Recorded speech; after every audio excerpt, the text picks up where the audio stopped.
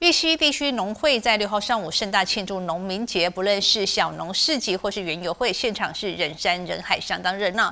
现场学生为怎么忙，也都亲自赶到现场和农民相亲问候祝福，同时他也加码赠送摸彩礼品，现场气氛很热络。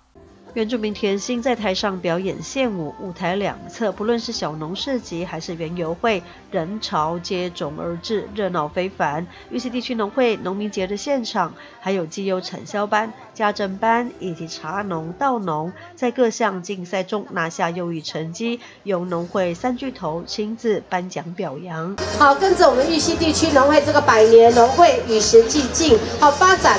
智慧农业、高科技农业的农民朋友，好，非常感谢大家。不论是玉溪地区农会团队，还是农民乡亲，二零二零年的各项成绩表现，上级长官都有目共睹，高分肯定。理事长陈文光感谢各界以及上级长官常年来的支持与协助，也特别献上年节祝福。我深的感觉到一好山好水好地方，农特产品的价值不只是这样，尤其你是对我们对大众的。从神农奖开始，到十大经典好米，义的米得了无数次的冠军，所以伊犁的米也是伊犁镇也是冠军米的故乡。颁奖表扬农民的努力，获得肯定。农会同步进行了摸彩活动，让乡亲农民一起同乐。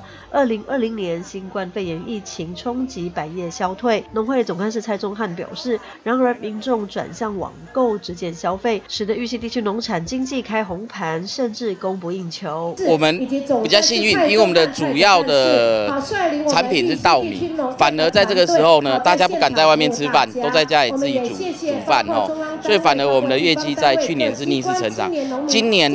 加上西部，它有将近加起来哈，将近九万公顷的停灌，所以今年我们的业业绩方面应该也是没有什么问题，会可以继续达到。疫情乌云笼罩，玉溪地区农会却有突破的成绩表现。县长许正卫再怎么忙，也都亲自赶到现场，和农民相亲。问候祝福的同时，也加码赠送摸彩品来同乐，现场气氛热烈。在这里，这位话不多说，因为今天早上北花莲真的非常多的事情啊。那来到这里，大家肚子饿了没有？饿了哈，要不要加码？要不要加太多？加太多怕加大大家抽太久，等太久哎。不会啊。面对上级相关单位的支持协助，以及地方各机关团体的配合，让玉溪地区农会会务蒸蒸日上。总干事蔡宗汉谦虚也由衷感恩，并表示，现在农会团队在产业辅导行销之余，近几年来更积极建制推广玉里卓溪两乡镇的农业休闲观光产业，让玉溪农产业多元发展再升级，增加农产经济收益，让农民乡亲安居乐业，天天过好年。记者石玉兰玉里采访报。真的好朋友分享。